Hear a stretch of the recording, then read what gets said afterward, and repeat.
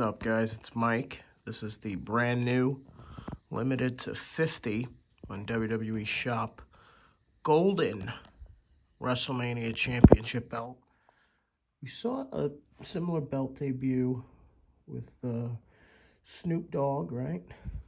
Last year for WrestleMania 39.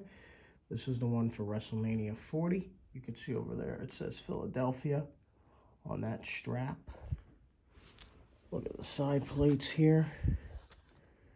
WrestleMania here. Look at that right there. Look at the tip of that belt.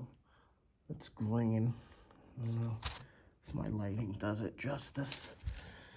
Back of the belt right there. This is the belt bag. It's like a leather type of belt bag. It's a very unique belt bag. It's unlike any material that they've used before. Um, you've seen a lot of celebrities post on social media with WWE holding this particular belt. I assume they'll have a few more at the Superstore at WWE World, but as soon as I saw this on the site yesterday, I had to get that, along with the other four um, WrestleMania belts that I'll be unboxing, so stay tuned for those videos. They're all coming out today. But in the meantime, yeah, this is the brand new WrestleMania Golden championship belt.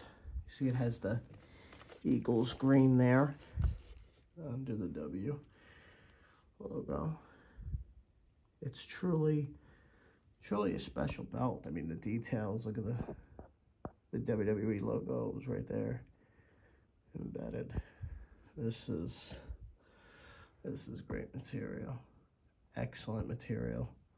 This is, I'm going to have a special shelf for this one and uh, the other WrestleMania belts. I almost didn't want to open this because it's so freaking nice.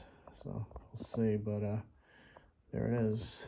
So it says Philadelphia, WrestleMania. This one's a little heavy. I think it's about 10 pounds. It's the weight of it. This feels really good. It's a beautiful replica title, one of the best. So if you're at WWE World at the Superstore, maybe they'll have a few more.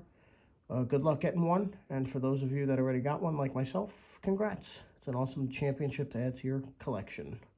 Thumbs up, subscribe, and watch the next few videos I'm going to have coming to you with the WrestleMania 40 Years Replica Championship belts coming up.